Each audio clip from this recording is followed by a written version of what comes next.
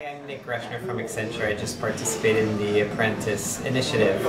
Um, it was a very fun initiative. Our sponsor told us at the beginning to expect to have fun, and uh, we did basically. So it was a fantastic opportunity to work with some of my colleagues in a different setting. We had a lot of fun.